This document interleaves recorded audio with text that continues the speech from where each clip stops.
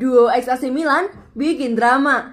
Dua ex pemain AC Milan memborong drama saat Peru menyingkiran Paraguay lewat adu penalti di babak perempat final Copa America 2021. Babak perempat final Copa America 2021 dibuka duel Peru versus Paraguay di Estadio Olimpico Pedro Ludovico, Goiania pada Jumat 2 Juli 2021 waktu setempat atau Sabtu dini hari waktu Indonesia Barat. Peru lolos ke babak delapan besar Copa America 2021 setelah menjadi peringkat dua grup B dengan hanya sekali kalah melawan Brazil. Sementara itu, Paraguay mendapatkan tiket ke perempat final dengan menjadi juara peringkat tiga grup A di bawah Argentina dan Uruguay. Dua ex pemain AC Milan memborong cerita pada pertandingan ini, terutama di babak pertama, Gustavo Gomez ex back AC Milan pada 2016-2017 membuka skor pada menit ke-11 Kapten Paraguay ini menyambar bola muntah hasil penyelamatan kiper Peru, Pedro Galesi, dalam sebuah situasi sepak pojok. Gianluca Lapadula, ex-striker AC Milan pada 2016-2018, menyamakan skor pada menit ke-21. Pemain yang juga pernah memperkuat timnas Italia B pada 2017 itu menceploskan bola hasil umpan silang mendatar Ante Carillo dari sayap kanan. Menjelang babak pertama berakhir, Gianluca Lapadula mencetak gol lagi.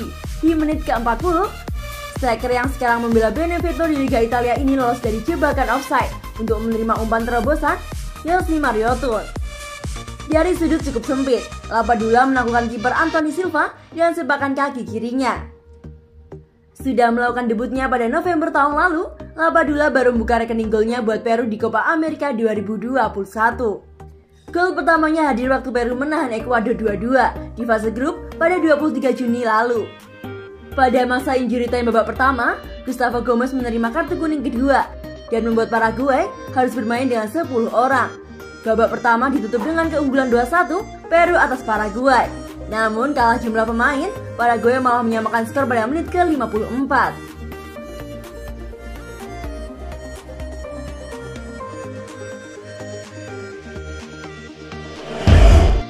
Felipe Meses, si bandel yang sempat bikin AC Milan ketar-ketir.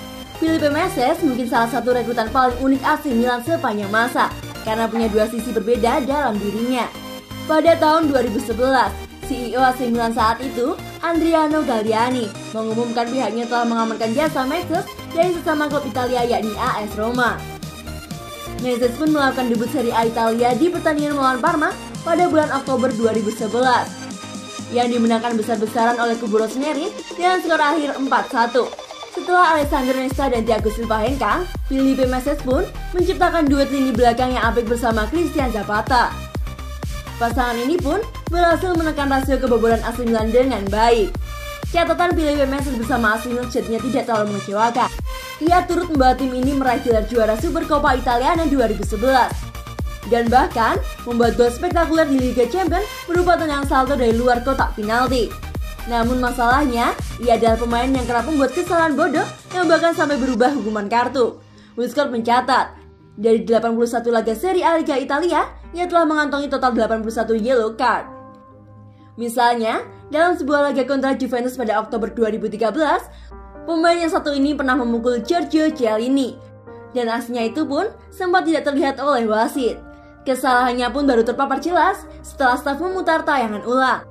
Aksi fenomenal tersebut pun tidak berhenti sampai di situ saja. Ia juga terpantau pernah membuat ulah di laga kontra Lazio pada Januari 2015. Kali ini, korbannya adalah Stefano Mauri, lantaran keduanya terlibat perkelahian di lapangan. Setelah mendapatkan kartu merah dan diusir dari lapangan, ia justru makin ngamuk dan berusaha mencekik sang kapten Lazio.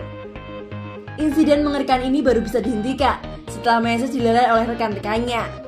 Ia pada akhirnya mau menyadari kesalahan dan minta maaf kepada teman-teman, fans, dan klub atas sikap buruknya itu.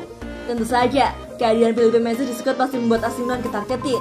Apalagi, klub juga harus menggelontorkan dana yang tidak sedikit untuk menggajinya. Bleacher Report sempat menyebutkan bahwa Messi mendapat bayaran 4 juta euro per tahun, yang kabarnya sama besar dengan para pemain seperti Mario Balotelli dan Ricardo Kakak. Terlepas dari segala tingkah kontroversial dan hobinya mengoleksi kartu, ia sebenarnya bukan pemain yang buruk secara teknis. Ia bahkan bisa menunjukkan level agresivitas yang tinggi ketika diminta maju ke depan. Selama berseragam Rossoneri, ia mencatatkan 5 buah gol, jumlah yang terbilang cukup lumayan untuk pemain yang berposisi sebagai back. Filipe Meses ibarat punya dua wajah yang berbeda dengan perangai yang berbeda pula. Ibarat koin, ia juga punya dua sisi, baik dan juga buruk. Sisi baiknya adalah menunjukkan skill seseorang yang cukup bisa diandalkan dan berkontribusi untuk tim yang ia bela. Sementara itu, sisi buruknya adalah menunjukkan watak pemain yang siap melanggar aturan dan mendapatkan kartu kapan saja. Akan tetapi, pada akhirnya ia pun jadi salah satu pemain yang dilepas AC Milan dalam melakukan upaya penyegaran klub. Ia pun menyudahi kisahnya bersama Rossoneri pada tahun 2016, seiring kepergian sang pemilik klub, Silvio Berlusconi. Pemain yang pernah menyebut gelar FIFA Konfederasi 2003 tersebut pun harus menganggur hingga setahun lamanya, baru kemudian memutuskan untuk pensiun dari dunia sepak bola pada tahun 2017.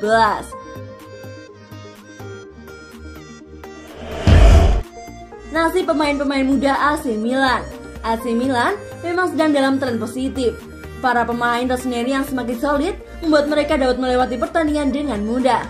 Namun masalah AC Milan dalam beberapa dekade ini adalah kurang jam terbang untuk pemain muda. Baik pemain dari Primavera maupun dari klub luar. Para pemain tersebut sebenarnya memiliki potensi yang luar biasa dan merupakan aset yang spektakuler bagi Rossoneri. Penampilan apik dari James Peter Howe yang merupakan rekrutan pemain muda Rossoneri juga belum bisa memuaskan jajaran manajemen. Kalulu juga merupakan pemain muda yang sebenarnya memiliki peran yang sakral dalam masa depan pertahanan Milan. Memiliki daya juang yang tinggi sebagai pemain muda, penampilannya tak begitu mengecewakan, hanya saja kurang dalam jam terbang. Berbeda nasib dengan Theo dan Brahim Diaz yang sudah mendapatkan tempat di skuad Rossoneri. Peran kedua pemain ini cukup signifikan dalam setiap pertandingan. Akselerasi dari Theo di sisi kiri dan terobosan-terobosan dari Brahim Diaz dapat menciptakan peluang bagi Rossoneri. Banyak rumor yang mengaitkan Milan dengan beberapa pemain muda yang mengakibatkan para fans geram karena hal itu akan membangun dana transfer jika pemain yang direkrut tidak dimainkan dalam squad. Namun jika terus-menerus mengandalkan pemain saat ini, maka tak heran jika masa depan Rossoneri akan redup dikarenakan tidak adanya regenerasi yang menjanjikan.